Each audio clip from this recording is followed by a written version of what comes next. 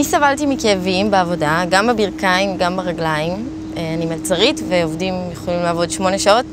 אה, וחיפשתי נעליים שאני אוכל לשרוד איתם את המשמרת, אה, ואז גיליתי את הקיבוט, רכשתי אותם. הסתגלתי להם מאוד מהר, לא היו לי שום בעיות עם זה. זה ממש כיף לעבוד איתם, מרגיש כמו ללכת על כריות עננים. וזה היה לפני שנה בערך, מאז אני עובדת רק איתם.